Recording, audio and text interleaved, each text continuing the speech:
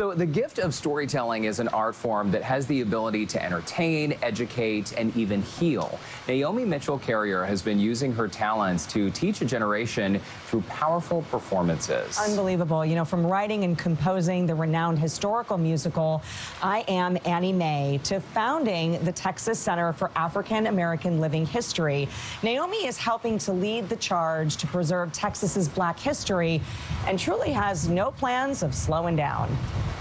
Well, Takara started in 2007, but it dates back to 1995 when I began to do living history reenactments for the George Ranch Historical Park. And everything about our company is a derivative of the musical I Am Annie Mae, which I wrote with Ruthe Winegarten back in 1987.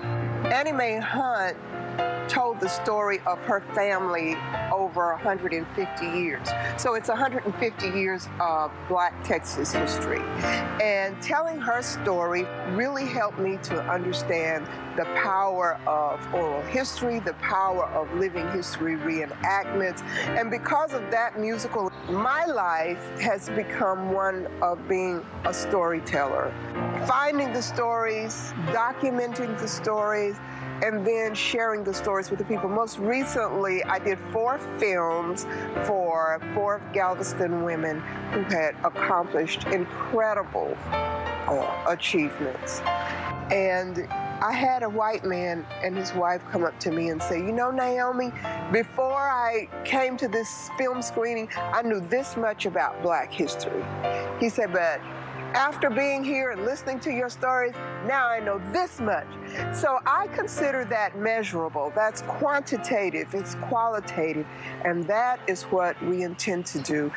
300,000 of the Texas enslaved had a lot to celebrate once they were emancipated, finally. Juneteenth is about emancipation, but what does that mean? It all comes down to how do we save this information and how do we teach? My self-appointed mission is to save a generation and leave a footprint.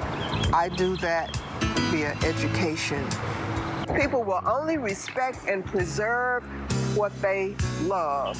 They will only love what they understand, and they will only understand what they are taught. So my role in all of this is to teach and to heal. Amen. What a beautiful story. And I love her quote. She to save a generation and to leave a footprint. That is so renowned, and I think it speaks so many volumes in today's world. She's such an inspiration. I'd love to hear her speak for a full hour.